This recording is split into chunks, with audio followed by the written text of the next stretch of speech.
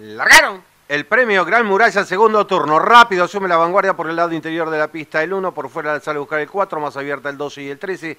En la quinta ubicación queda el 7, más atrás el 5, el 8. En el octavo lugar el 6, más atrás el 3, cierra marcha el 9.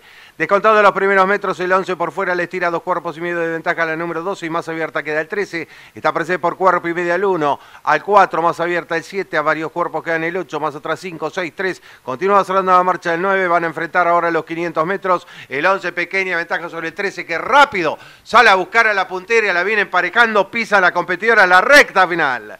Últimos 400 metros para el disco, el 11 pequeña, ventaja sobre el 13, más atrás el 4 y el 7, de cuenta los últimos 250, el 13 por fuera le saca ventajas al 11, viene muy rápido del fondo número 4, más atrás el 7, de cuenta los últimos 150 metros para el disco, el 13 mantiene ventaja sobre el 4, que insiste por fuera, más atrás lo hacen el 11, el 7 y el 5, van en busca del disco, 13 con ventajas apreciables, pocos metros, conducida por